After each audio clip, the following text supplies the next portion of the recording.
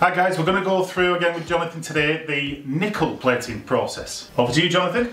Right, so as with the zinc one, we've got the, the same setup of the uh, rods and clips Yep. arrangement.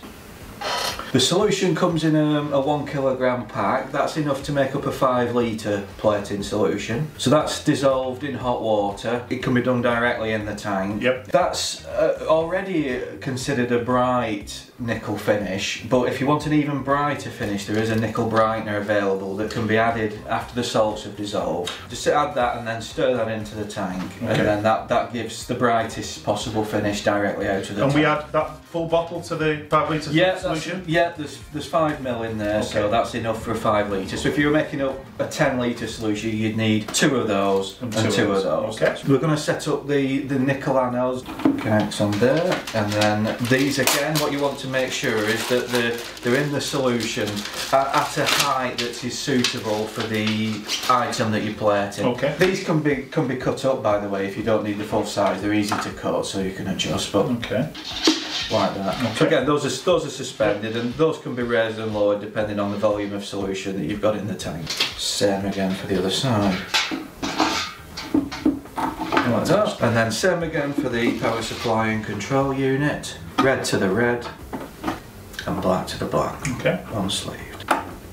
You've got the solution in there, then the anodes are in place. Um, power supply again plugged into there, and make that connection first. So select your voltage and have that plugged into the mains first. You then take your item again, tie it off on this bar, clip that onto the, the black bar, and that will be your part that's that's plated in there.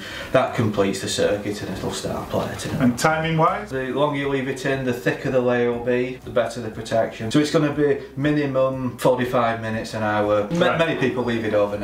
And again, cleaning, absolutely essential. Got to be clean, got to be rinsed. It's got to be free free of any contaminants, in which in rust is the biggest factor Yeah, of those. If there's any rust on a, part in an area, it's not going to plate. It It needs to be fully removed, fully clean, chemically clean, free of oil, grease, anything like that is going to interfere with it. So, So the actual finished colour on this is going to be have a slightly reflective finish. Yes, Yeah. uh, the, the level of brightness and, and reflection is depends on the part and how flat the surface is. Yeah. Like anything else, the, the flatter and smoother it is, the brighter and more reflective it's going to be. Okay. Similar to chrome in that regard. Yeah. This was used in, in vintage vehicles before chrome came along, and it can, it can be repolished and polished to a very high level. Right, okay. It's got a slightly more yellowish hint to it than chrome. Chrome's more of a bluish Yeah, tone. got that but- hue, but but similar on the luster okay. type levels, yeah. This this one requires a tank heater. These salts are not as conductive as the zinc ones, so the zinc ones can be operated at a lower temperature, room temperature, if it's Yeah. not incredibly cold. These ones will need to be raised up